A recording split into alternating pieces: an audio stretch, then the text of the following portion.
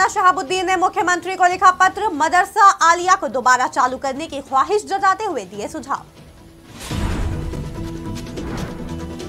Samajwadi party को लगा बड़ा झटका, राष्ट्रीय महासचिव रवि प्रकाश वर्मा ने दिया इस्तीफा।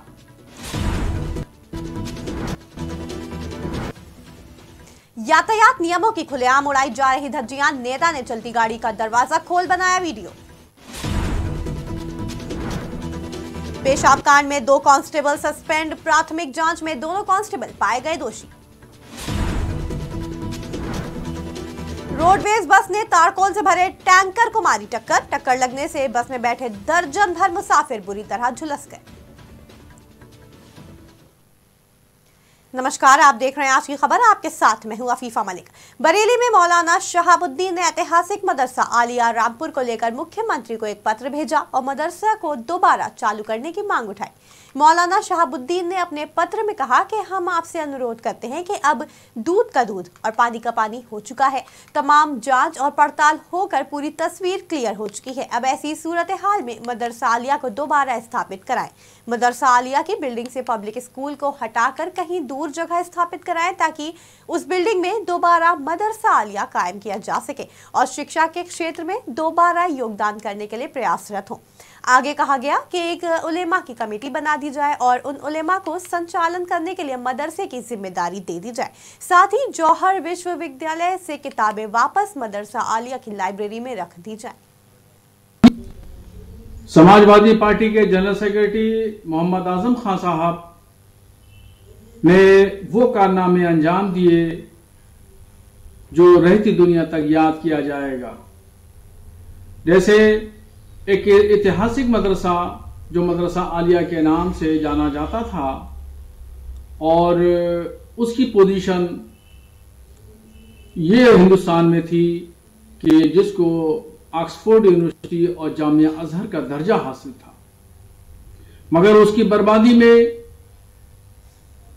और उसको तबाहकारियों में मदरसे का वजूद के ख़त्म करने में जो कलीदी किरदार आज़म खान साहब ने अंजाम दिया है, वो लोकसभा चुनाव 2024 से ठीक पहले समाजवादी पार्टी के सामने एक बड़ी मुश्किल सामने आके खड़ी हो गई है।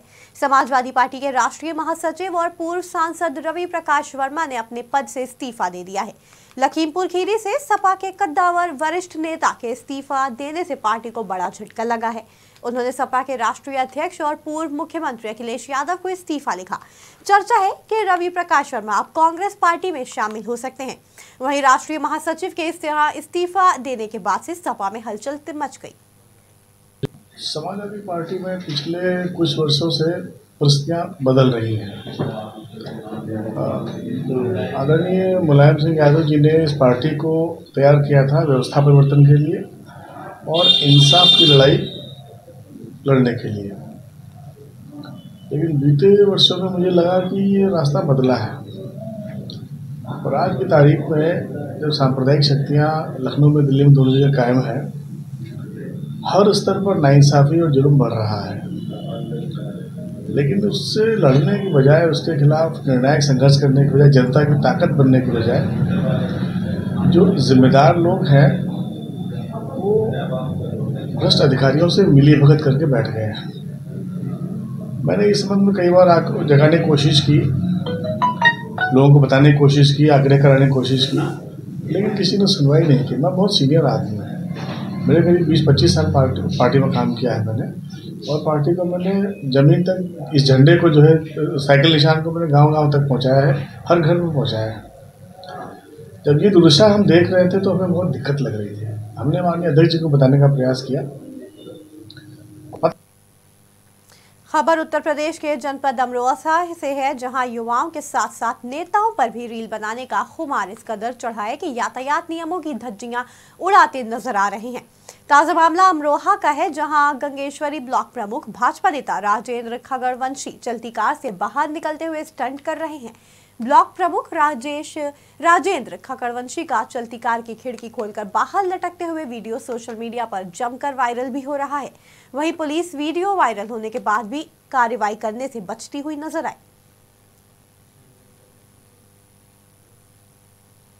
कानपुर के सिविल लाइंस में फ़ूड स्ट्रीट में नशे में धुत होकर मारपीट और ठेले पर पेशाब करने वाले दो कांस्टेबल के खिलाफ एक्शन लेते हुए दोनों को सस्पेंड कर दिया गया। जानकारी के मुताबिक प्राथमिक जाँच में दोनों कांस्टेबल दोषी पाए गए हैं। इस वजह से कार्रवाई की गई है। बाकी जाँच होने के बाद विभागीय कार्रवाई भी की जाएगी। अभद्र व्यवहार करने वाले कांस्टेबल का नाम हेमंत कुमार और लोकेश राजपूत बताया जा रहा है, जिनको अब सस्पेंड कर दिया गया है। दिनांक दो ग्यारह दो हज़ार तेईस को सोशल मीडिया के माध्यम से पुलिस को एक वीडियो प्राप्त हुआ जिसमें कुछ व्यक्ति एक दूसरे के साथ गाली गलौज करते हुए तथा उनमें से एक व्यक्ति एक ठेले पर पेशाब करते हुए दिखाई दे रहा है। जब पूरे वीडियो की जाँच की तो यह पता लगा कि उसमें से जो व्यक्ति ठेले पर पेशाब कर रहा है तथा उसका एक साथी, ये पुलिस में 112 पीआरबी पर तैनात हैं। इसका संज्ञान लेते हुए एसीपी कलेक्टरगंज की रिपोर्ट के आधार पर इनको तत्काल रूप से निलंबित कर दिया गया है तथा एक अलग से विभागीय जाँच इनके विरुद्ध अभी प्रचलित है। एक दर्दनाक सड़क हादसा उस वक्त सामने आया जब तेज रफ्तार रोडवेज़ बस से गर्म तारकोल से भरे टैंकर में टक्कर मार दी। टैंकर, टक्कर लगने से टैंकर में उछले गर्म तार कोल बस में बैठे दर्जन भर से ज़्यादा मुसाफिरों के ऊपर जा गिरा, जिसकी वजह से यात्री बुरी तरह से झुलस गए। दो मुसाफिरों की हालत नाजुक बताई जा रही है, जबकि सभी यात्रियों का इलाज सामुदायिक स्वास्थ्य केंद्र पर चल रहा है। ये पूरा मामला बिजनौर के सिवहारा धामपुर मार्ग का बताया जा रहा है। हादसा होते ही गाँव वासी और प्रधान ने दौड़कर सभी तारकोल में झुलसे यात्रियों को किसी तरह बाहर निकाला और आनंद फानंद में पास के ही सीएचसी अस्पताल में भर्ती कराया।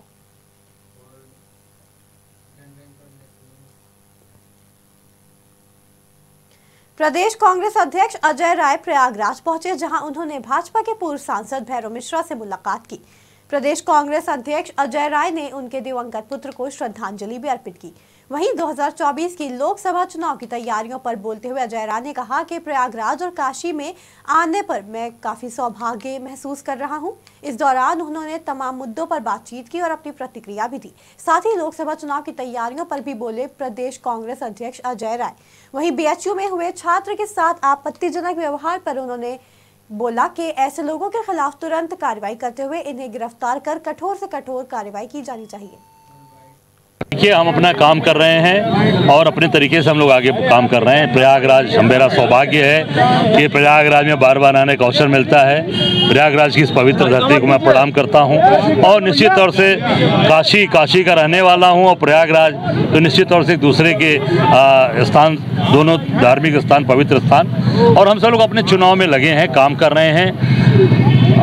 मैं अपनी तरीके से पूरे उत्तर प्रदेश के अंदर दौड़ा कर रहा हूँ, काम कर रहा हूँ, सबको जुड़ने का काम कर रहा हूँ। इलाहाबाद विश्वविद्यालय में 400 प्रतिशत फ़ीस बढ़ाने का मसला हो, या छात्र संघ बहाली और कुलपति की अवैध नियुक्ति हो। पिछले तीन वर्ष से आंदोलनरत और इलाहाबाद विश्वविद्यालय के मृतक छात्र आशुतोष दुबे को न्याय दिलाने को लेकर संघर्ष कर रहे छात्र नेता अजय सम्राट, जो पिछले 105 दिन से जेल में बंद थे, वहीं अब कोर्ट ने अजय सम्राट को जमानत पर रिहा कर दिया है। विश्वविद्यालय के छात्र और छात्राओं में अजय सम्राट की रिहाई से खुशी की लहर दिखाई पड़ी। दीपावली त्योहार को लेकर जिला प्रशासन सख्त हो गया है। शिवगढ़ में हुई पटाखे की घटना को लेकर प्रशासन सजग है। जिलाधिकारी हर्षिता माथुर ने निर्देश पर सिटी मजिस्ट्रेट प्रकाश चंद्र और सीओ सिटी अमित सिंह ने पटाखे की दुकानों पर छापेमारी की। भदोका थाना क्षेत्र के कई दुकानों पर छापेमारी करते हुए कड़े निर्देश भी दिए गए। सिटी मजिस्ट्रेट प्रकाश चंद्र ने बताया कि दुकानों पर पहुंचकर सुरक्षा व्यवस्था के कड़े इंतज़ाम है या नहीं, और पानी, बालू और फायर डिस्ट्रीब्यूटर की व्यवस्था की गई है या नहीं, इसकी भी जाँच की गई। आग लगने पर आग बुझाने के लिए सुरक्षा व्यवस्था की गई है या नहीं, इसको लेकर क्या इंतज़ाम है, इन सबको लेकर कड़े निर्देश दिए गए हैं, और दुकानदारों के घर पर पहुंचकर भी जाँच की गई है कि पटाखे कहीं घर पर तो नहीं रोक कर रखे गए हैं। सिटी में तो मुख्यतः एक दुकान है और उसके हमारे जो है थाना मलेरिया और जो है बदोखर और पूरे ज़िले में लेकर के कुल लाइसेंस की एक सौ नौ दुकान है। और हम लोग जो है हम सी सिटी जो हमारे क्षेत्राधिकार के अंतर्गत में हम सी सिटी और संबंधित थाना अध्यक्ष गए थे तीन दुकानों का हम लोगों ने निरीक्षण किया और दुकानों है सारी व्यवस्थाएँ थी और बाकी एक जगह जो है बालू नहीं था। तो हमने निर्देशित किया कि आप तत्काल यहाँ बालू रखवाइए और पानी यहाँ ज़रूर रखवाइए और जो मानक है, सुरक्षा के जो उपाय हैं, उसके देखते हुए ही जो है, लाइसेंस हरगांव सीतापुर में एशिया प्रसिद्ध हरगांव की बिरला ग्रुप की चीनी mill Awadh sugar and energy private limited नवीन सत्र 2023 से 24 के लिए पिराई करना का प्रारंभ कर दिया है। उत्तर प्रदेश सरकार के नगर विकास राज्य मंत्री राकेश राठौर गुरु ने बतौर मुख्य अतिथि चीनी मिल का पूजन किया। राज्य मंत्री राकेश राठौर गुरु ने सुबह लगभग आठ बजे मिल की मशीनों और डोंगे का विधिवत पूजन करने के बाद मिल के डोंगे में गाड़ियों से गन्ना लेकर मंत्रोच्चारण के बीच विधिवत शुभारंभ किया। नगर विकास राज्य मंत्री राकेश राठौर के साथ चीनी मिल के अधिशासी अध्यक्ष ए के दीक्षित ने भी पूजा में हिस्सा लिया। जनपद बिजनौर के चांदपुर के खेकड़ी में फाइनेंस कंपनी के स्टाफ के साथ दबंगों ने जमकर मारपीट की। इस वारदात से इलाके में दहशत का माहौल है। वहीं पीड़ितों ने पुलिस को शिकायती पत्र देते हुए न्याय की गुहार लगाई। गाँव खेड़की इलाके की रहने वाली एक महिला ने बताया कि वो credit care network limited company में काम करती है। ये पूरा मामला किश्त जमा करने से जुड़ा है।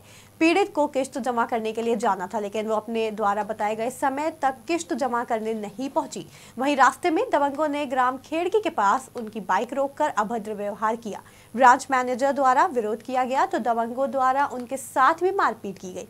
पीड़ितों ने दबंगों के विरुद्ध थाना चांदपुर पुलिस को शिकायती पत्र देते हुए कार्रवाई की मांग की है। फ़िलहाल इस पूरे मामले में पुलिस जाँच पड़ताल कर रही है। मैं संभू में जुड़ी हुई हूँ मैं सेंटर डीलर हूँ तो एक ने किस्त नहीं दी थी। ग्यारह सौ नौ सौ नौ सौ अस्सी की अच्छा फिर तो फिर इन्होंने किस्त नहीं दी। उन्होंने सर जी ने फ़ोन करा मेरे पास कि हमें किस्त चाहिए। हम्म। तो मैं चांदपुर गई। चांदपुर उनके साथ जैसे आ रही थी ना लौट के अपने घर पे जा रही थी। तो घर जैसे गाँव में घुसी में तो उन लड़ा खबरों में फ़िलहाल इतना ही, जुड़े रहें आज की खबर के साथ ताज़ा तरीन खबरों के लिए।